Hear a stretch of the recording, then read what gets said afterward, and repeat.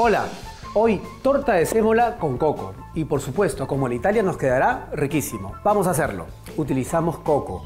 El coco y la sémola hacen una combinación muy rica. Aquí tenemos ya la sémola. Vamos mezclando esto. Poquita harina nomás, azúcar blanca, polvo de hornear, la cascarita de naranja que cae suavecito y un poco de limón también. Mezclamos bien. Vamos a agregar entonces huevos. Vamos a poner aceite, todo al medio. Yogur natural, agregamos un poco de vainilla. Vamos a agregarle queso crema. No demoramos nada en hacer la mezcla. Bien, ponemos esto acá. Vamos a cocinarlo a 160 grados, más o menos unos 40 minutos.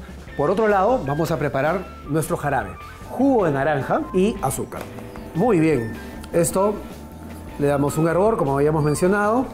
Aquí tenemos un poco del jarabe, como dije, caliente. Ahí está, ven como mira todavía un poquito. Y tenemos ocho buenas porciones. Dar un poco de, de crema, unas medias lunas de, de limón. Bueno, qué rico queda esto. Además, porque comer rico nos une. Molitalia reuniendo a la familia. Chao, nos vemos.